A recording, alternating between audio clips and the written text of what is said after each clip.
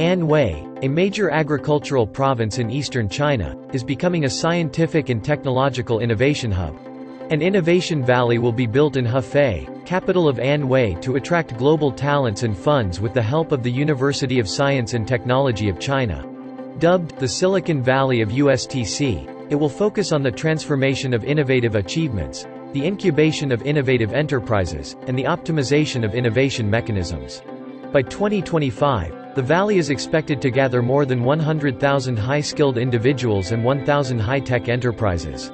Over the past decade, a number of world-class sci-tech breakthroughs have been achieved in Anhui in fields such as quantum technologies, nuclear fusion energy, and artificial intelligence.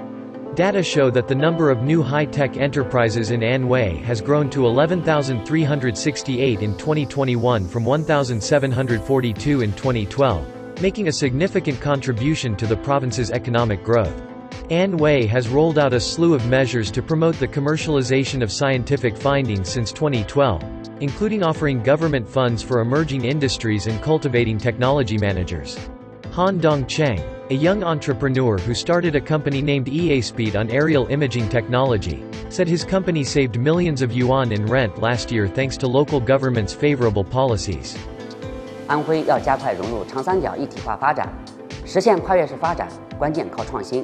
要进一步夯实创新的基础，加快科技成果转化，加快培育新兴产业。A number of emerging high-tech enterprises and industry clusters, for example, the integrated circuit and new energy vehicle industries, have taken root and sprouted in Anhui, creating great value for the province.